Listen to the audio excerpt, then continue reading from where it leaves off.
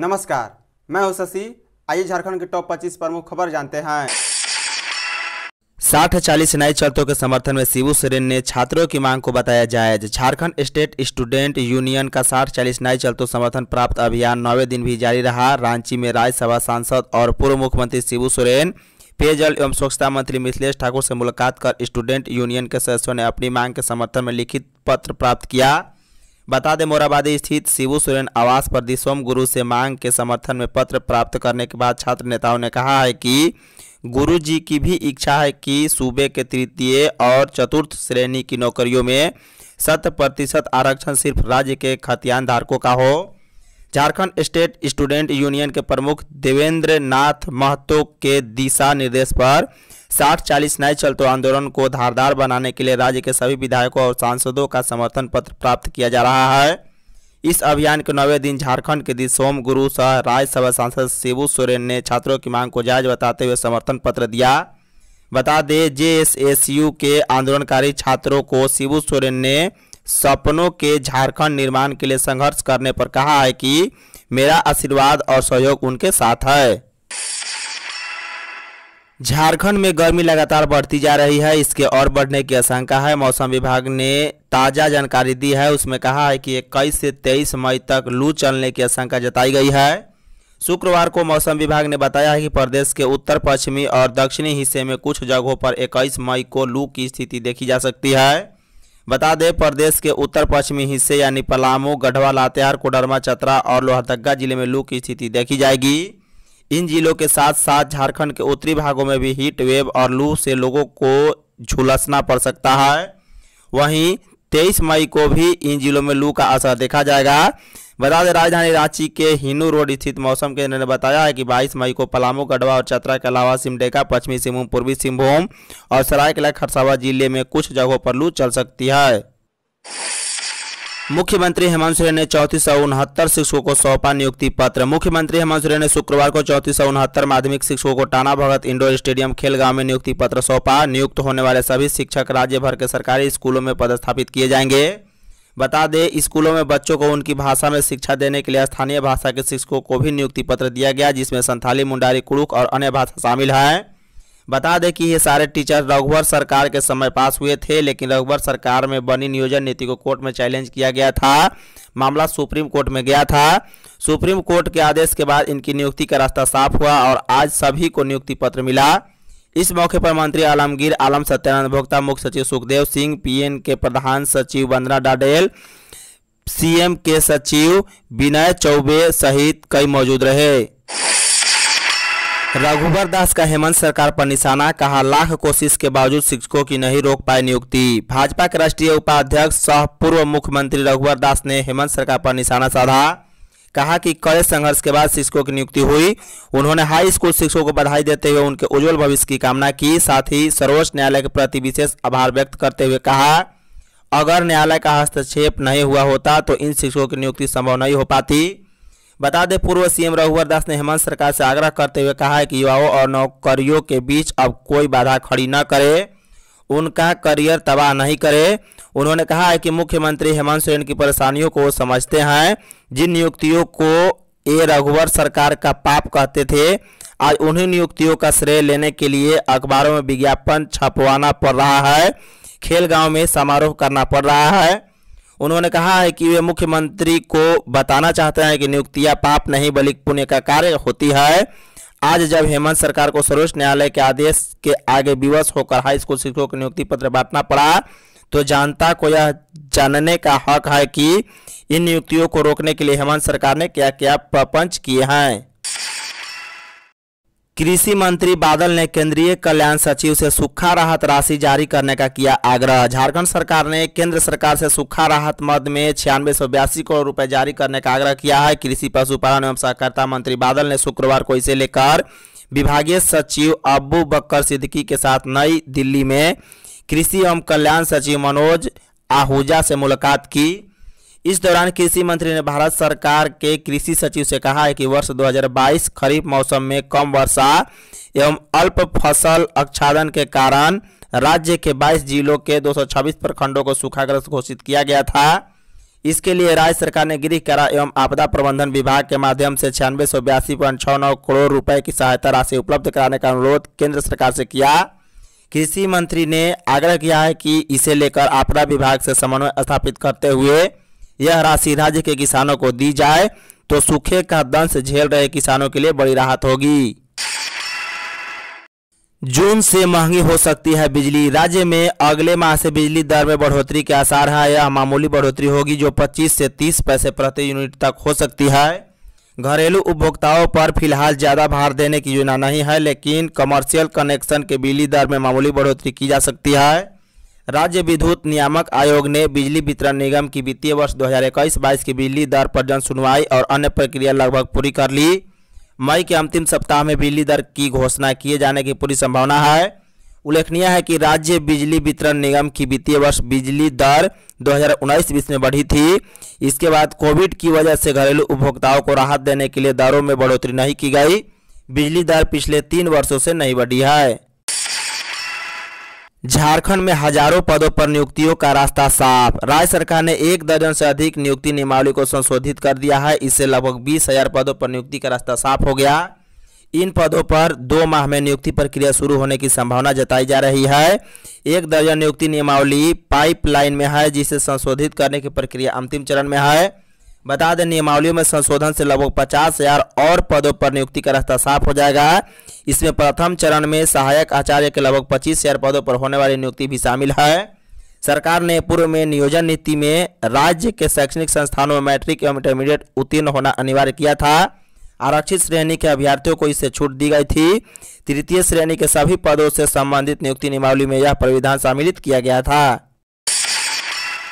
मवासियों से भरे दो पिकअप वाहन जब्त, तीन तस्कर गिरफ़्तार। झारखंड के लोहरदगा ज़िले की कुड्डू थाना पुलिस ने मवासी तस्करी के मामले में कार्रवाई की है। इस मामले में पुलिस ने दो पिकअप वाहनों में लदे 16 मवासियों को जब्त किया है। इस मामले में कुल तीन लोगों को गिरफ़्तार किया गया, साथ ही जब्त किए गए मवासियों को आवश्यक कार्रवाई के बाद ग्रामीणों के जिम्मे नाम पर दे दिया गया है। राष्ट्रपति द्रौपदी मुर्मू के रांची दौरे को लेकर सुरक्षा के पुख्ता इंतज़ाम। राष्ट्रपति द्रौपदी मुर्मू के रांची दौरे को लेकर की गई तैयारी की समीक्षा बैठक उपायुक्त राहुल कुमार सिन्हा की अध्यक्षता में समानालय स्थित उपायुक्त सभागार में की गई। इस दौरान उन्होंने अधिकारियों से कहा है कि दौरे के दौरान सुरक्षा की पुख्ता व्यवस्था होनी चाहिए। संवेदनशील स्थानों को चिन्हित कर सुरक्षा बलों को तैनात करेंगे।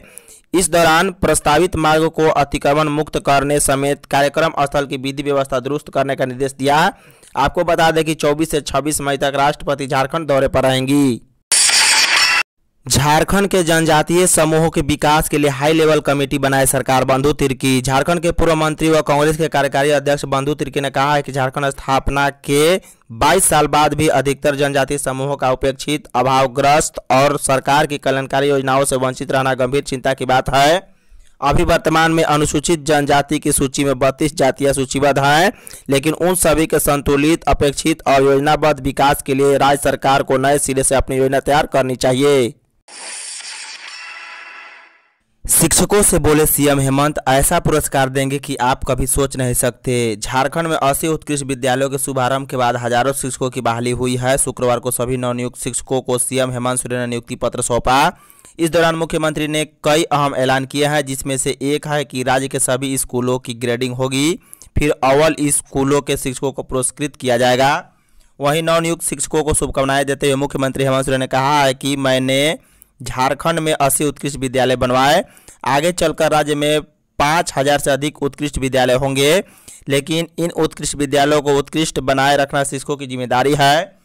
सीएम हेमंत सोरेन ने कहा है कि आने वाले समय में राज्य के सभी स्कूलों की ग्रेडिंग होगी, जिसके बाद टॉप थ्री में आने वाले स्कूलों के शिक्षकों को पुरस्कृत किया जाएगा। हालाँकि क्या पुरस्कार दिया जाएगा, अभी इसका ज़िक्र नहीं किया गया, लेकिन इतना इशारा ज़रूर किया गया है कि यह पुरस्कार काफ़ी बड़ा होगा। बोकारो के होनहे गाँव में 20 को आनी थी बारात और 19 मई को घर में अगजनी से सभी सामान जलकर राख। बोकारो जिला अंतर्गत गोमिया प्रखंड के महुआ टांड थाना क्षेत्र स्थित होनहे गाँव में मोहन महतो के घर में आग लग गई। आग इतनी तेज थी कि घर में रखे सभी सामान जलकर राख हो गए। शनिवार 20 मई 2023 को उसकी पुत्री की शादी को लेकर बारात आने वाली थी, लेकिन इससे पहले इस घटना ने सबको झकझोर दिया। बताया गया है कि कंडेर पंचायत स्थित होनहे गाँव निवासी मोहन महतो की पुत्री की शादी को लेकर लगन रस्म की अदायगी की गई। रात में सभी अतिथि और ग्रामीण समारोह में शामिल होने के बाद अपने अपने घर चले गए। शुक्रवार की सुबह घर के एक सदस्य ने चाय पीने के लिए चूल्हा जलाया। इसी बीच गैस सिलेंडर गैस लीक होने के कारण घर में आग लग गई। पीएलएफआई सुप्रीमो ने भाजपा नेता से रंगदारी मांगी 10 इक्के सैतालीस की डिमांड। उग्रवादी संगठन पीएलएफआई के सुप्रीमो दिनेश गोप ने रांची के एक भाजपा नेता से रंगदारी के रूप में 10 इक्के सैतालीस राइफल की मांग की है। भाजपा के रांची जिला के महामंत्री बलराम सिंह को दिनेश गोप ने 18 मई को फ़ोन कर इक्के सैतालीस राइफल की मांग की। मामले को लेकर भाजपा नेता ने रांची के गोंदा थाना में एफआईआर दर्ज कराई है। बता दें, उग्रवादी संगठन पीएलएफआई का सुप्रीमो दिनेश गोप नेपाल से अपने संगठन का संचालन कर रहा है। पुलिसिया अभियान की वजह से नेपाल में छिपे दिनेश गोप को संगठन चलाने के लिए हथियार की ज़रूरत है। रांची में वाम दलों की सभी पार्टियाँ का हुआ संयुक्त कन्वेंशन। राजधानी में सभी लेफ़्ट पार्टियों का जुटान हुआ है, जहाँ सभी ने देश के भारतीय जनता पार्टी को हटाने के लिए एकजुट होकर आंदोलन करने का निर्णय लिया। 2024 लोकसभा चुनाव में राजनीतिक बदलाव को लेकर सभी पार्टियाँ एकजुट होकर एक दूसरे को समर्थन दे रही है। इसी को लेकर वाम दल भी खुद को मज़बूत करने में जुट गया है। शुक्रवार को वाम दलों की सभी पार्टियों के द्वारा एक संयुक्त कन्वेंशन किया गया, जिसमें वाम पार्टियों के सभी नेता शामिल हुए। बता दें, कन्वेंशन में मौजूद सीपीआई के नेता और पूर्व सांसद भुवनेश्वर मेहता ने कहा है कि वर्ष 2024 के चुनाव को लेकर झारखंड में सभी विपक्षी पार्टियाँ एकजुट होकर भाजपा को परास्त करने का काम करेंगी। मोबाइल वेटनरी एंबुलेंस के लिए कृषि मंत्री ने केंद्र से मांगा हिस्सा। झारखंड के कृषि एवं पशुपालन मंत्री बादल पत्रलेख ने प्रस्तावित मोबाइल वेटनरी एंबुलेंस के संचालन के लिए केंद्र से अपना हिस्सा जल्द से जल्द निर्गत करने का मांग की है, ताकि वेटनरी एंबुलेंस सेवा शुरू की जा सके। बता दें कि झारखंड में पशुधन के स्वास्थ्य की रक्षा के लिए 236 मोबाइल वेटनरी एंबुलेंस चलाने की योजना है। केंद्र की सरकार के सहयोग से इस योजना का संचालन होना है। इसलिए झारखंड के कृषि एवं पशुपालन मंत्री बादल पत्रलेख ने दिल्ली में भारत सरकार के पशुपालन एवं डेयरी विभाग के सचिव अलका उपाध्याय के साथ बातचीत के दौरान ये मांग की। कृषि मंत्री बादल पत्रलेख, कृषि भवन नई दिल्ली में झारखंड में चल रहे केंद्रीय और केंद्र प्रायोजित कृषि पशुपालन की योजनाओं से संबंध में चर्चा कर रहे थे। बीज घोटाला मामले में मंत्री सत्यानंद ने खुद की बहस। बीज घोटाला मामले में वर्तमान में श्रम मंत्री और तत्कालीन कृषि मंत्री सत्यानंद भोक्ता के डिस्चार्ज पिटीशन पर शुक्रवार को एसीबी की विशेष अदालत में सुनवाई हुई। अदालत में उपस्थित होकर मंत्री सत्यानंद भोक्ता ने खुद बहस की और अपने ऊपर लगे आरोप को बेबुनियाद बताते हुए खुद को निर्दोष बताया। मंत्री सत्यानंद भोक्ता ने कहा है कि मंत्री होने के नाते उनके द्वारा आदेश दिया गया था कि, लेकिन कार्यादेश विभाग के अधिकारियों के द्वारा बनाया गया था। खुद के बचाव में साक्ष्य प्रस्तुत करने के लिए मंत्री सत्यानंद भोक्ता ने अदालत से समय की मांग की है। कृषि सचिव ने की कृषि और पशुपालन विभाग की योजनाओं की समीक्षा। कृषि सचिव ने पदाधिकारियों को कृषि, पशुपालन एवं सहकारिता विभाग वित्तीय वर्ष 2022-23 की योजनाओं को हर हाल में 15 जून तक पूरा करने का निर्देश दिया। विभागीय समीक्षा बैठक के दौरान कृषि सचिव ने चेतावनी भरे लहजे में कहा है कि अगर योजनाओं के क्रियान्वयन में किसी भी प्रकार की लापरवाही बरती गई तो संबंधित लापरवाह पदाधिकारियों पर कठोर कार्रवाई की जाएगी। बता दें, कृषि पशुपालन एवं सहकारिता सचिव अबू बक्कर सिद्दीकी ने समीक्षा बैठक के दौरान कहा है कि हर हाल में इस वित्तीय वर्ष 2023-24 के लिए तालाब, डीप बोरिंग और अन्य योजनाओं की स्वीकृति 31 मई तक सुनिश्चित करें।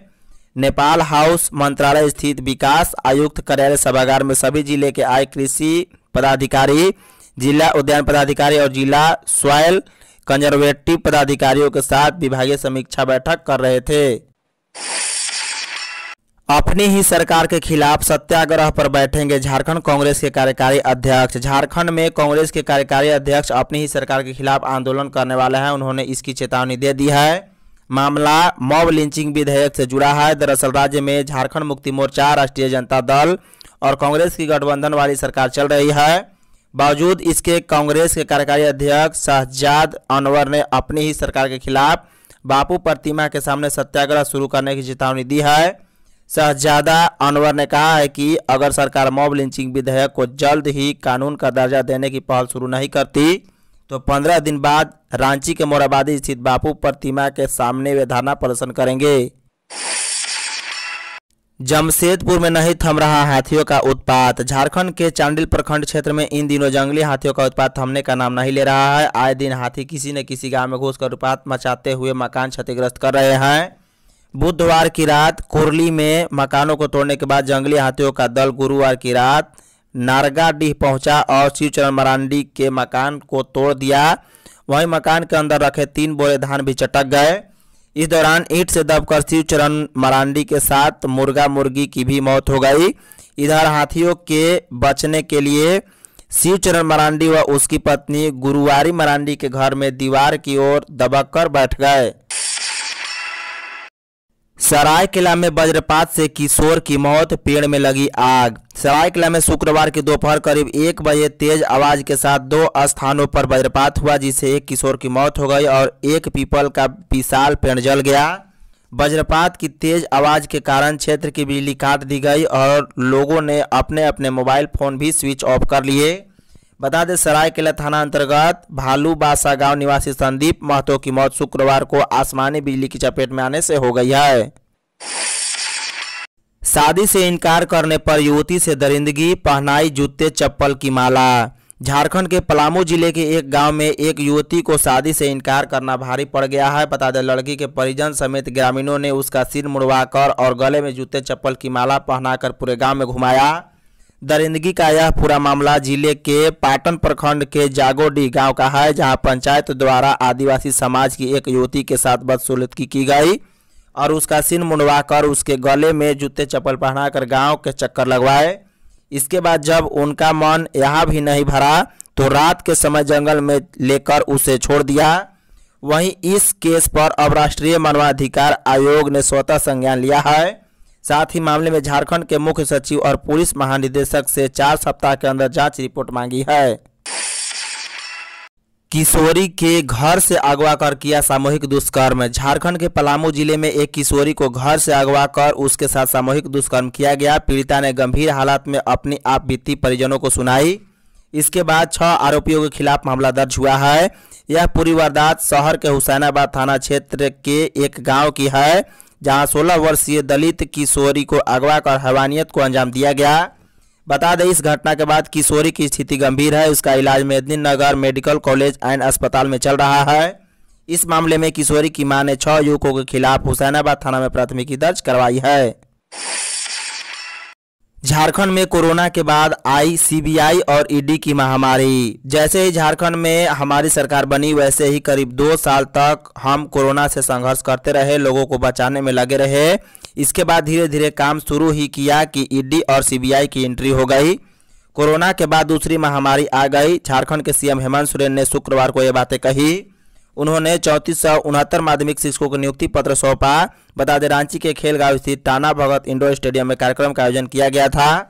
सीएम हेमंत सोरेन ने कहा है कि झारखंड खनिज संपदा से भरपूर है। यहाँ के खनिज से देश रोशन हो रहा है।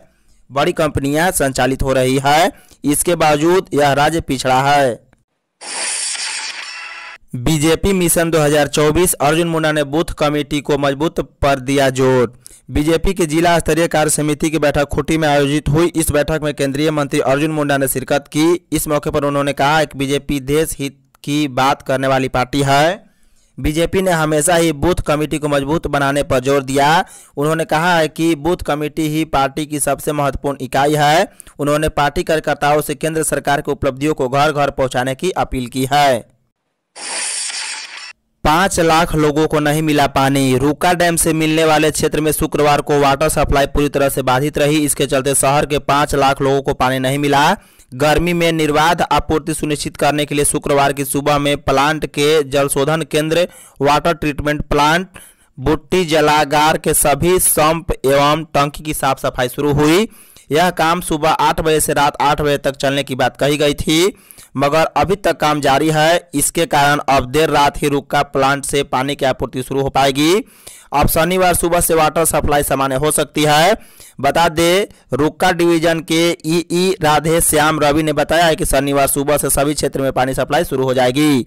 धन्यवाद। यदि आप चैनल पर नए हैं तो चैनल को सब्सक्राइब कर बॉल का बेल आइकन दबाइए। साथ ही साथ वीडियो को एक लाइक कर अपने दोस्तों के साथ शेयर करना ना भूलिए। साथ ही साथ आप हमें कमेंट बॉक्स में अपना फीडबैक अवश्य दें। Thank you.